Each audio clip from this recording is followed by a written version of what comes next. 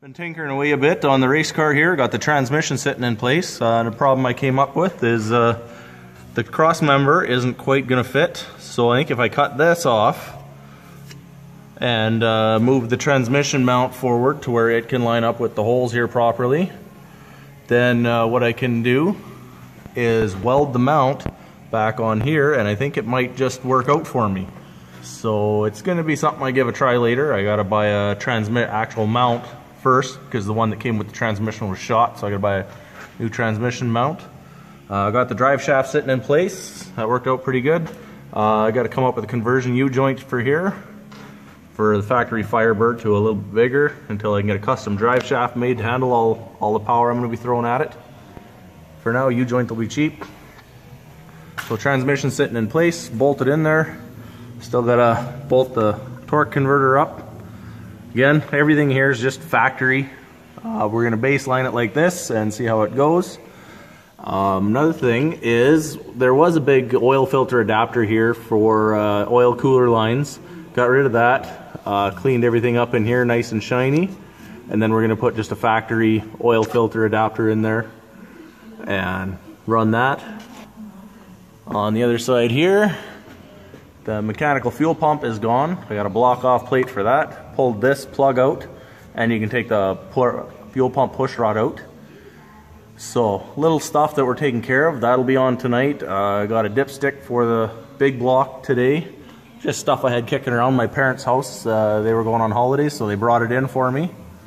Um, yeah, small little things I'm taking care of here and there. Uh, I'm gonna have to build some tranny cooler lines. I'll use the old ones bend them where I need to, and then cut them and go from there. And yeah, we'll just I got to keep plinkering away here, and I'll keep you guys updated. All right, a couple little notes here. When you're bolting the flex plate to the torque converter, these bolts, there's three of them on there. Uh, you'll want to use Loctite or something on those. Make sure they're not going to come out. Um, another trick, start all three of them, get them close to being tight, but so they can still wiggle a little bit. These bolts, these the holes that they go into aren't perfect. So you want that little bit of slack until you can get all three of them started almost tight and then you can turn the engine over one more time, tighten them all up. Again, make sure there's Loctite or something on there. You don't want those coming apart when you're dube driving, racing, whatever.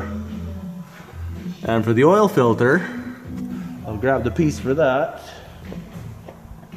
which looks like this. If you notice, there's a ridge that goes all the way around. These aren't really meant to be used with gaskets. So what you do is you get that up in there.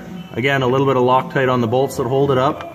You torque that in place, and it's not meant for a gasket. It's meant to for that little aluminum ring to crush a tiny bit against the metal and seal right up. So something to keep in mind if you're ever swapping these things around. So after that, uh, I get gonna put this cover on or the torque converter. Uh, I gotta find myself a starter because the one that came with the motor was garbage um, dipstick headers, lots of stuff I can do. We'll keep going. Great, we got a nice shiny oil, oil fuel filter block off plate on there now, which looks pretty nice. Brand new bolts in there, make it look good. Uh, torque converter covers on, keep the dust and dirt and all that kind of stuff out of there. Got the oil filter adapter in here, bypass valve also known as. These bolts take a measly 7 foot-pounds of torque to torque them down, so Loctite's an awesome idea on those. So, put an oil filter on here and a dipstick, and my uh, oil system is sealed up again, thankfully. Alright, let's get some more work done. Alright, a little more stuff taken care of. We took out those ugly trailer lights that were in here. Had to take out this whole piece to do it, get everything from the backside, and the license plate holder gone. Looks much nicer that way. So yeah, starting to do just little tiny things all over the place here now. Um, got to start ordering me some parts. So as soon as my sponsors start kicking in, I can do that. Uh, got the rad mounted.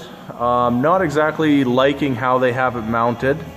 So I might have to contact some aluminum welders and get some stuff welded up here and fabricated and figured out. So yeah, lots of things to figure out, lots of stuff to do. Uh, gonna keep going here. All right, uh, as you can see, I've been hard at it again, stripping wiring and stuff. Uh, the wiring is a little bit of a mess in this car, so I got rid of all the wiring to the headlights and marker lights and all that kind of stuff just to make things simpler up front here.